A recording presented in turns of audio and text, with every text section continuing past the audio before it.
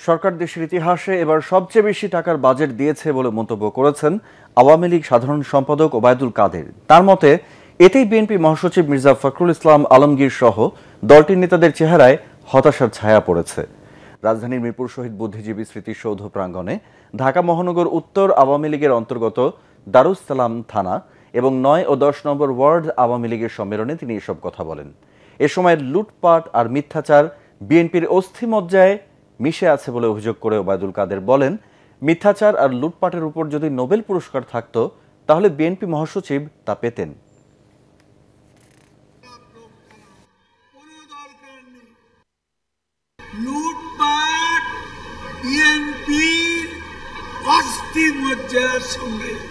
মিশে গেছে বাংলাদেশের ইতিহাসে সবচেয়ে বেশি টাকা এই বাজে এ করোনা সংকটের পর রাশা ইউক্রেন যুদ্ধের সংকটজনক পরিস্থিতি শেখ হাসিনা বাংলাদেশে সর্ববৃহৎ বাজেট দিয়েছে।